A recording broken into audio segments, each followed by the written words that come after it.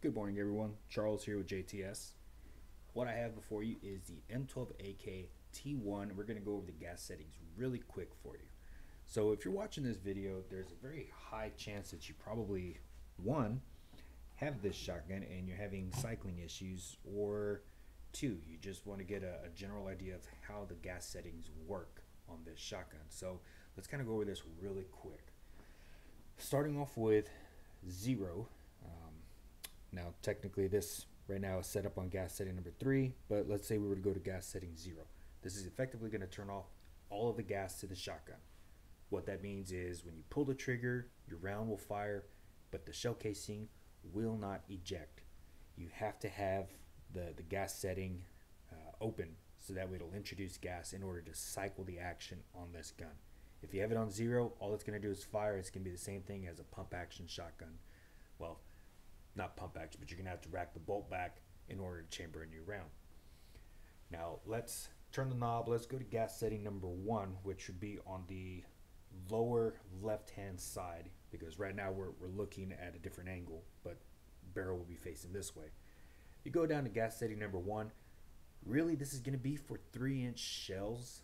Um, now, three inch shells are, are never really that fun to, to shoot I would not suggest running it on any other gas setting. If it runs reliably on gas setting number one, leave it there. Now, if you have the occasional round where it just did not quite fully eject itself, go ahead and bump up the gas a little bit and go to gas setting number two. If it's cycling without issue, just leave it there. Now, if we take that gas setting, we go to gas setting number two. Really, this is going to be for 1390 feet per second or faster. Now, that number right there is not set in stone. There are different shells. Uh, you have low brass, high brass loads.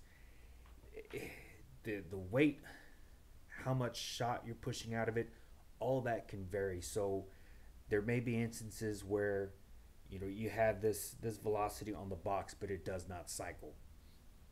Well, go to gas setting number three, kind of help it out, give it a little bit more extra gas in order to cycle it.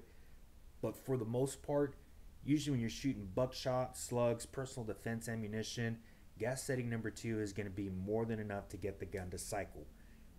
Again, if it's brand new out of the box and you leave it on gas setting number two, and you're having the occasional stoppage, let's go ahead and open it up go to gas setting number three. It's going to give you just enough in order to, to fully extract that spent casing. Now, if we go to gas setting number three, this is going to be the wide open setting. This is going to introduce the highest amount of gas into your shotgun. You need to be running 1255 feet per second or faster. So you go to Walmart Academy, you buy a 100 round box of Winchester White Box or the Federal, the Economy Pack. Those are moving 1200 feet per second. It's it's a great cartridge. It works great in, in other other shotguns, pump actions, over unders. It this gun with that shell is not compatible. It does not have enough gas, enough energy to cycle the bolt back. So if you're watching this video and that's what you were shooting, that's 100% that's going to be the issue. You need to run something that's a little bit hotter. You don't need to run, you know, gas at number three with high brass. You just need to run high velocity. So with that being said, if your your gun is having cycling issues and you're on you know gas setting one or two, go to gas setting number three if you're you're running this velocity on there, again, it could also be that the the, the box itself it's just the ammunition does not always travel exactly what it lists on the box. Most of you know that by now. There's always going to be some sort of variance in the velocity. There's going to be a spread. But in general, gas setting number three is going to be where you start off at. That's going to be for your, your bird shot target loads, if you're just going to the range, you're punching holes in paper, leave it on gas setting number three. Personal defense ammunition, slugs, high brass, gas setting number two. Gas setting number one, three inch shells, and of course, gas setting zero is closing off the gas entirely. Guys, please do not forget to subscribe and uh, give this video a thumbs up. As always, have fun, be safe, and have a great day.